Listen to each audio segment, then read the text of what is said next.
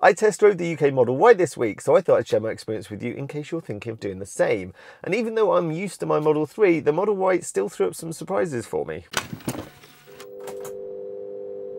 So first of all, what's the booking process like? Well, for me as a Tesla owner, it was really simple because Tesla just emailed me to tell me the dates. Now, unfortunately, my emails went to my junk folder, which I need to change because unlike a lot of companies, Tesla don't email you irrelevant rubbish. It's all good stuff. So if you are on their mailing list, make sure you change that over because I missed the London and Manchester dates because it had gone to the wrong folder and I was too slow to book it.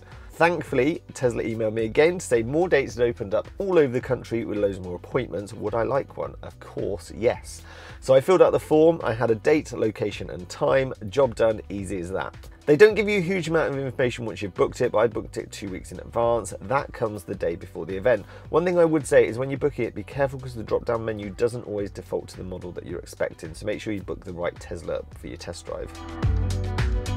I knew where I was going anyway, but the day or so before, you'll get an email from Tesla to confirm the details and also loads of links as to how to drive the Model Y. So you can learn that before you get there, so you're not spending your time on your test drive learning the controls and can just get out there and enjoy it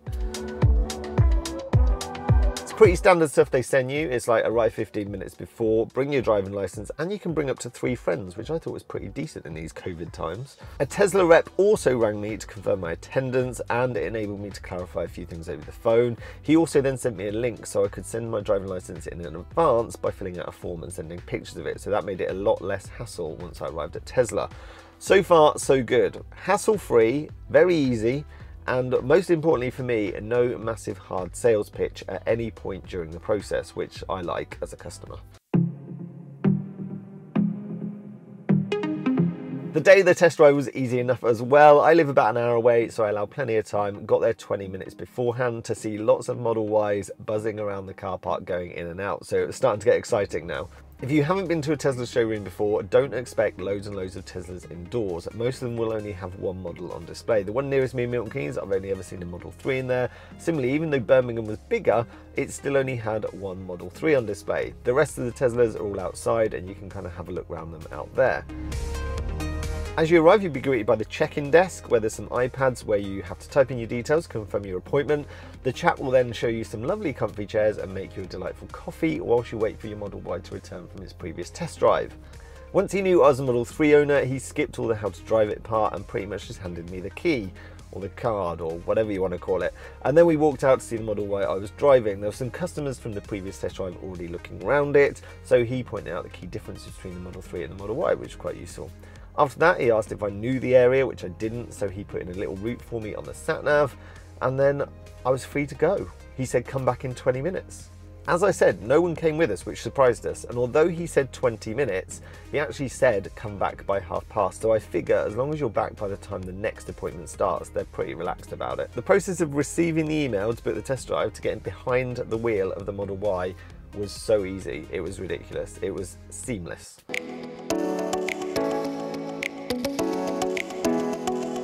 So what about the test drive itself and what were the surprises the Model Y had in store for me? Well, the first surprise shouldn't have probably been a surprise when I come to think about it, but it was how similar they are inside.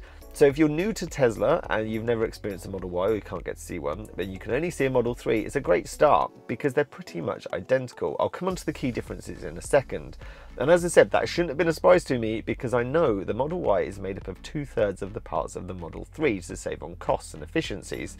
So as a Model 3 owner, the wow factor was lost on me a little bit because I'm so used to my Model 3. The second surprise, which again shouldn't have really been a surprise, was how much it felt like an SUV. I know it's being marketed as an SUV, but from the pictures, I thought I'd be driving like a Model 3 with a bit bigger roof. That was it. The bits I noticed when I got in was you're not in this laid back driving style that you are in the Model 3. You're a bit more upright with your legs at more of a right angle. So for anyone that wants a car that's easy to get into, the Model Y is going to be for you because it's not something you have to climb up into, but equally not something you sink into that you're going to have to pull yourself out of.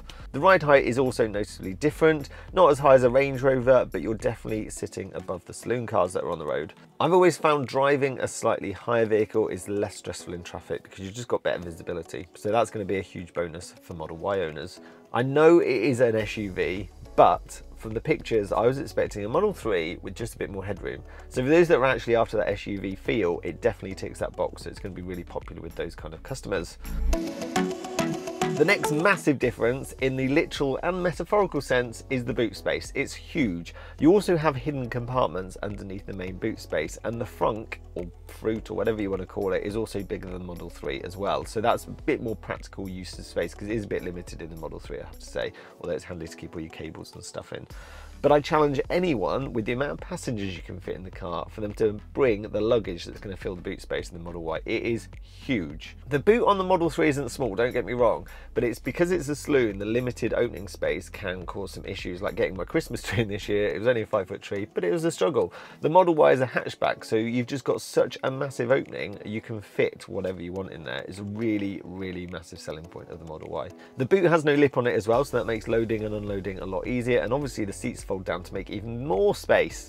Other really subtle changes are in the Model Y, you've got a single panoramic roof over the top and then slightly taller wing mirrors as standard with the SUVs. Other than that, the specifications are pretty much identical to the Model 3. You've got double glazing throughout, you've got USB-C ports, it's all the same because as I said earlier, two thirds of it are all the same parts.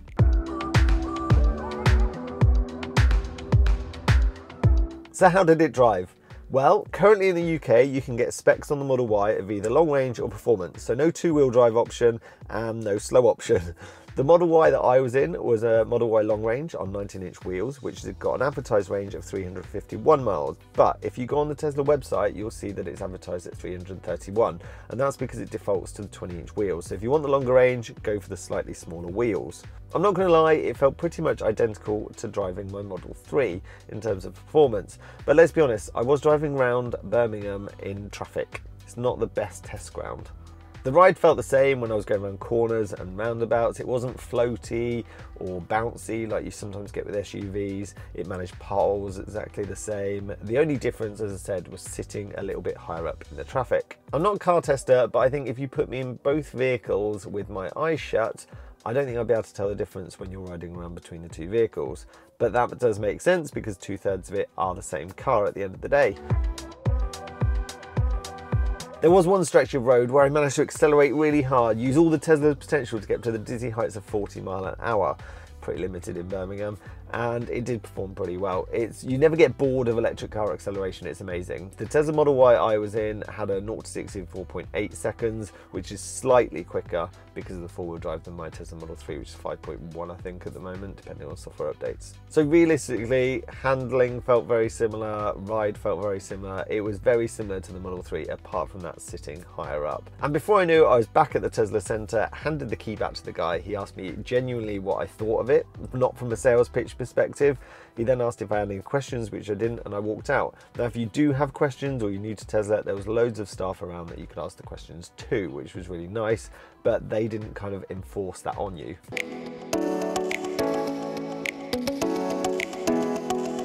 Overall, really easy, pleasant experience with no hard sales pitch at any point, which I really like because I hate people trying to sell me stuff. And it shows that Tesla have awesome faith in their product, which they should have because the product is amazing. So if you're remotely intrigued at what Tesla have to offer, but a bit scared of the sales pitch, don't worry, just book yourself on one because they don't try and sell you anything. Word of warning though, you'll probably want one when you come away, so just have that in the back of your mind. But really can't fault the process from how easy it was to book, to get a date, to arrive, check in, coffee, go out for a, a, route round that they'd planned for me, and at no point did anyone try and really push anything on me, which is good. Uh, really good experience. Thumbs up for that Tesla. So the big question you're probably wondering is, am I going to get one? Well, that's going to be in my next video, and the answer might actually surprise you. So if you want to see that, don't forget to subscribe. And if you've got any questions about the test drive experience I had, pop them in the comments below, and I'll answer them for you. Thanks for watching. I'll see you soon.